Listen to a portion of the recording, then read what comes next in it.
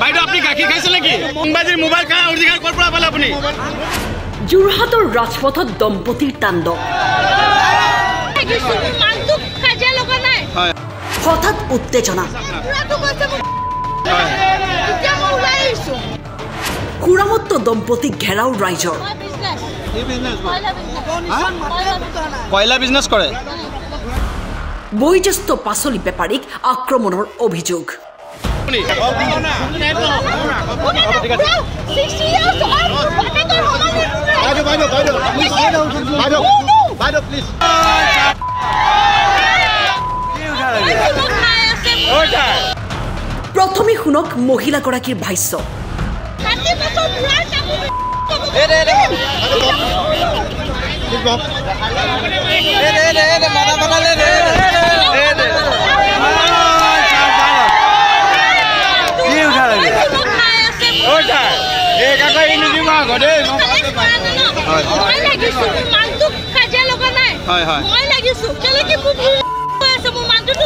আপুনি মোক কৈছিলে কয়লাৰ বিজনেছ কৰে। ক'ৰ পৰা কয়লাৰ বিজনেছ কৰে?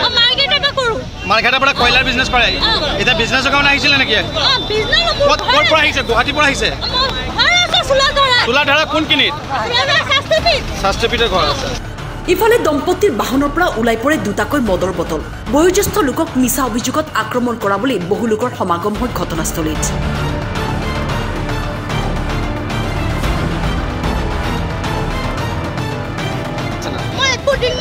আপোনাৰ গাড়ীৰ পৰা ডিঙৰ বটল পাইছে মোৰ হাজবেণ্ড হাজবেণ্ড কৰি আহিছে।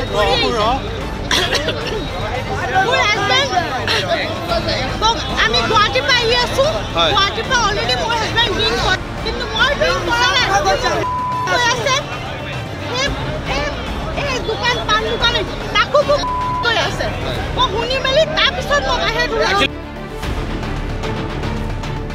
এইবাৰ শুনক ৰাইজৰ খং উঠাৰ প্ৰকৃত কাৰণ কি।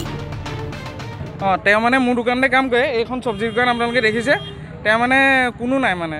ঘটিব পৰা মানুহ তেওঁহে মানে। তেওঁৰ কাৰণে মই তেওঁক মৰমতে ৰাখি লৈছোঁ মানে। তেওঁ মানে মোৰ যদিও তেওঁতকৈ সৰু বয়সত তেওঁ আজিলৈকে মোক তই বুলিয়ে কয় মানে। তুমি বুলিয়ে কয়। তুমি বুলিয়ে কয় মানে তেওঁ। এই সেনেকুৱা অৱস্থা এই মানুহজনে জানো কাৰোবাক বেয়া কথা ক'ব পাৰে। এই দুপৰীয়া মই ভাত খাব যাওঁতে তেওঁ মানে সেই পাণ দোকানখনত তামোল খাই কাৰোবাৰ লগত কথা পাতি আছে।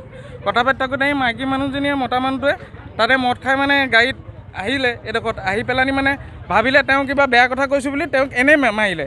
এতিয়া আপুনি দেখিছোঁ দুইজন মানুহে একদম মদ খাই ফিটিং। আৰু মুখৰ পৰা গোন্ধ কথা পাতিব অঁ গাড়ীৰ ভিতৰত। আই গাড়ীৰ ভিতৰত মদৰ বটলো দেখিছে আপোনালোকে ভিডিঅ'টো দেখিছে মদৰ বটলো ওলাইছে। এইজন বয়সস্থ মানুহ বাৰু এনেকৈ পিটিব লাগে নেকি? আপোনালোকে চাওকচোন বাৰু। দেউতা তুল্য মানুহজনক। মৰি মেলি গৈ পেলাই তামোল খাইছোঁ তাত। এই বুঢ়াজন আছে বেপাৰী এজন তেওঁৰ লগত কথা পাতি আছে। কথা পাতি আৰু ৰৈ আছোঁ ক'লোঁ বোলো গৰম লাগিছে অকণমান ৰৈ দিম ইয়াত ফেন বতাহটো অকণমান লৈ লওঁ। মানুহজনী ভাবিছে মোক কিবা এটা বেয়া কথা কৈ আছে। মই একো বেয়া কথা কোৱা নাই মোৰ কি দৰকাৰ ক'বলৈ? তাৰপৰা আৰু তাৰ এই মানুহটো আহিলে মানুহটোক কৈ পেলাই মই সেই মই নিচা ওচৰত আছোঁ। তাৰপৰা মোক টানি আনি দুয়োটা গিৰিয়ে ঘৈণীয়েক খালে পিটি আছে। কিমান পিটিলে? এই মাৰিলে। দুখ পাইছে আপুনি? এইবিলাক দুয়োটা মদ খালে ঘটনাস্থলীত আৰক্ষী উপস্থিত হৈ দুয়োকে আটক কৰি থানালৈ লৈ যায় আৰু সুৰা সেৱন কৰাৰ পৰীক্ষা কৰে। আৰু পৰীক্ষাত ওলাই পৰে পুৰুষজনে এশ ত্ৰিছ মিলিগ্ৰাম সুৰাপান কৰাৰ বিপৰীতে মহিলাগৰাকীয়ে সুৰাপান কৰিছিল এশ পোন্ধৰ মিলিগ্ৰাম। এই ঘটনাই নগৰখনত প্ৰতিক্ৰিয়াৰ সৃষ্টি কৰে আৰু এনেদৰে হঠাতেই যোৰহাটৰ ৰাজপথত দেখা গ'ল সুৰামত্ত দম্পতীৰ তাণ্ডৱ।